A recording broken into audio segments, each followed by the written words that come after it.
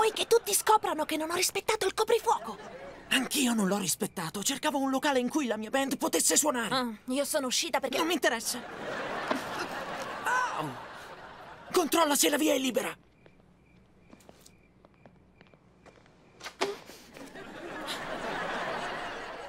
La mamma è dentro e ha la sua copertina dell'attesa.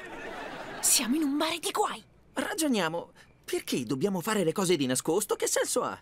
Prendiamo il coraggio a quattro mani e diciamole cosa pensiamo del suo coprifuoco. Hai ragione. Affrontiamo il problema da adulti.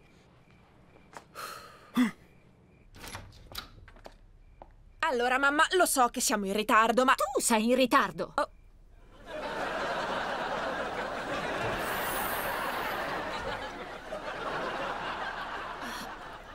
Phoebe, è da più di un'ora che ti sto aspettando. Tuo padre e io eravamo molto preoccupati. Ah, televisione. Non c'è altro di cui mi importi quando sei accesa.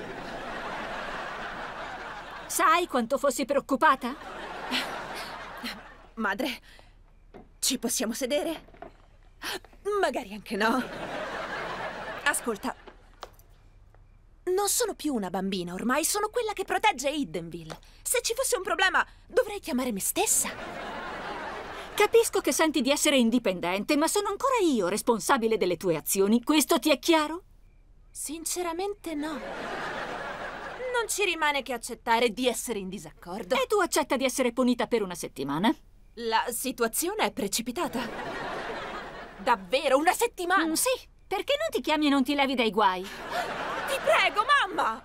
Volete smetterla? Sto cercando di dormire. Oh.